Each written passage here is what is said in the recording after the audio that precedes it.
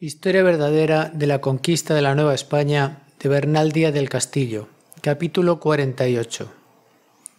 Cómo el gran Montezuma dijo a nuestro capitán Cortés que se saliese de México con todos los soldados, porque se quería levantar todos los caciques y los papas y darnos guerra hasta matarnos, porque así estaba acordado y dado consejo por sus ídolos, y lo que se hizo sobre ello. Como siempre, a la contina nunca nos faltaban sobresaltos, y de tal calidad que eran para acabar con las vidas en ellos si nuestro Señor Dios no lo remediara. Y fue que, como habíamos puesto en el gran Q, en el altar que hicimos, la imagen de Nuestra Señora y la cruz, y se dijo el Santo Evangelio y Misa, parece ser que los huichilobos y el, el Tezcatepuca hablaron con los papas y les dijeron que se querían ir de su provincia, pues tan maltratados son de los teules, y que donde están aquellas figuras y cruz que no quieren estar, o que ellos no estarían allí si no nos mataban, y que aquello les daban por respuesta, y que no curasen tener otra y que se lo dijesen a Montezuma y a todos sus capitanes, que luego comenzasen la guerra y nos matasen.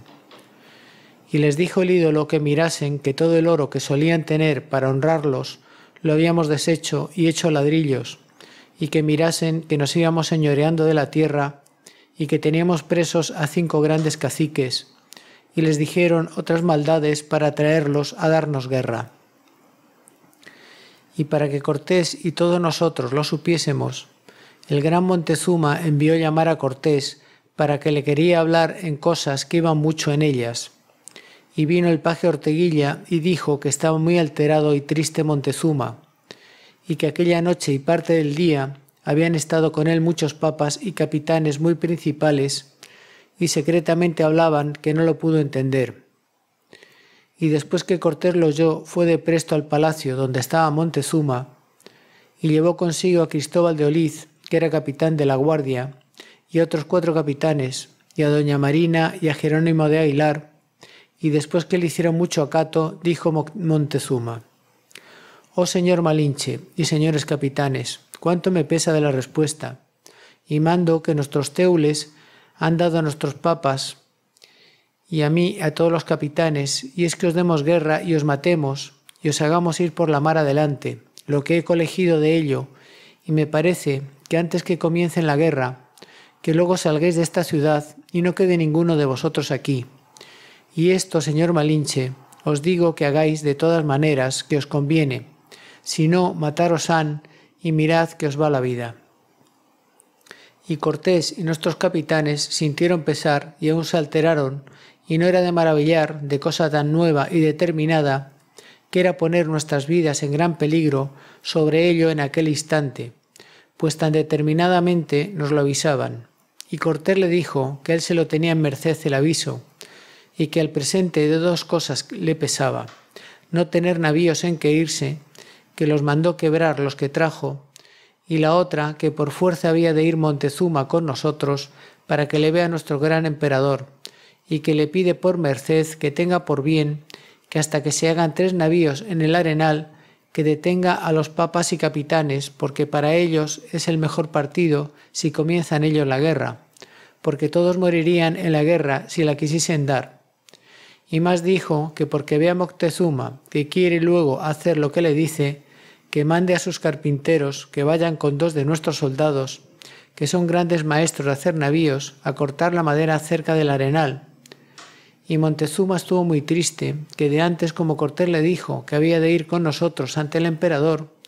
y dijo que él daría a los carpinteros, y que luego despachase y no hubiese más palabras sino obras y que entre tanto él mandaría a los papas y a los capitanes que no curasen de alborotar la ciudad, y que sus ídolos de Huichilobos que mandaría aplacasen con sacrificios que no sería con muertes de hombres. Y con esta tan alborotada plática se despidió Cortés y los capitanes de Montezuma,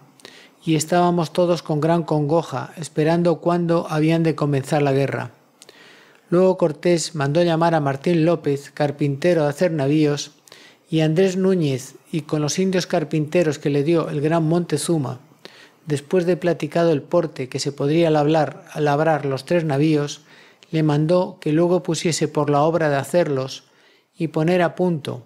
pues que en la villa rica había todo aparejo de hierro y herreros y jarcia y estopa y calafates y brea.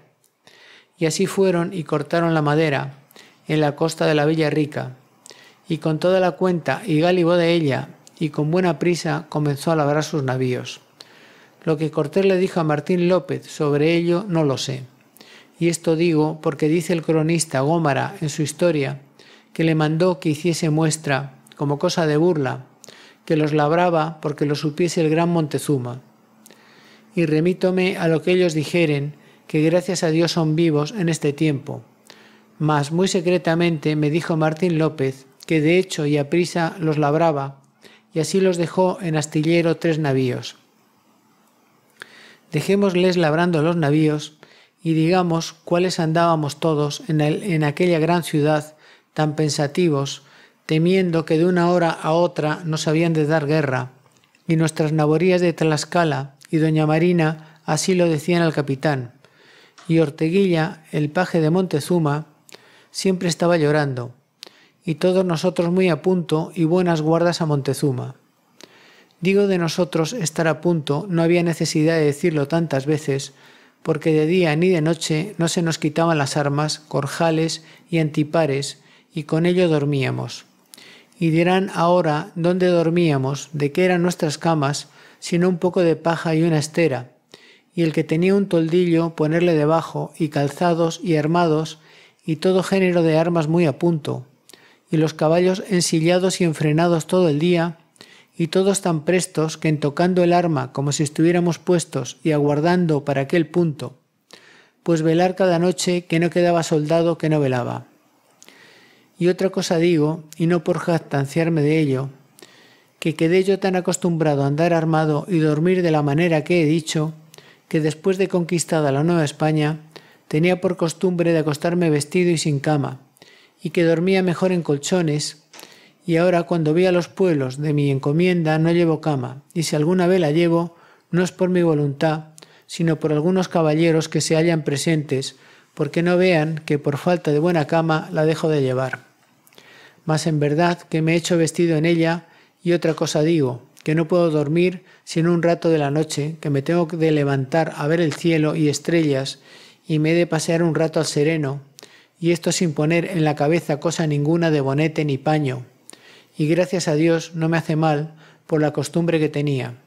Y esto he dicho porque sepan de qué arte andábamos los verdaderos conquistadores y cómo estábamos tan acostumbrados a las armas y a velar. Y dejemos de hablar en ello, puesto que es algo fuera de nuestra relación,